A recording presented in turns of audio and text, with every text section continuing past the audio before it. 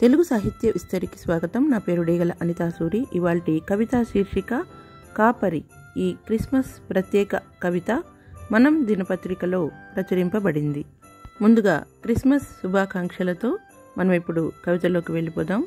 పాపపు గొర్రెలు పుట్టగొడుగులై విస్తరించిన వేళ నిరంకుశ సాతానులు నిద్రలేచిన వేళ పాపపు గొర్రెలు పుట్టగొడుగులై విస్తరించిన వేళ నిరంకుశ సాతానులు నిద్రలేచిన వేళ పామర పడవకు చుక్కానిలా పరిశుద్ధ మనసుల పరిరక్షణకు మార్గదర్శకుడై పైశాచిక శిలువను మూర్ఖపు ముళ్ళ కిరీటాన్ని విశ్వశాంతికై మోసిన మహనీయుడు.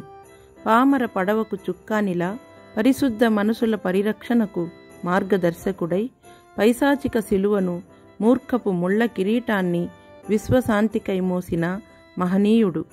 మానవత్వపు విలువను ఆటవిక నీతికి బలి కాకుండా పునరుత్నమునర్చిన యుగపురుషుడు. పవిత్రమైన మనసును స్వచ్ఛమైన చిరునవ్వును ములుకర్రగా ధరించి పవిత్రమైన మనసును స్వచ్ఛమైన చిరునవ్వును ములుకర్రగా ధరించి మృగనీతిని తుదముట్టించిన ఏకైక అభిషిక్త ప్రవక్త గ్రేసరి యేసు కరుణామయ లోక కాపరి. మృగనీతిని తుదముట్టించిన ఏకైక అభిషిక్త ప్రవక్త గ్రేసరి యేసు కరుణామయ లోక కాపరి.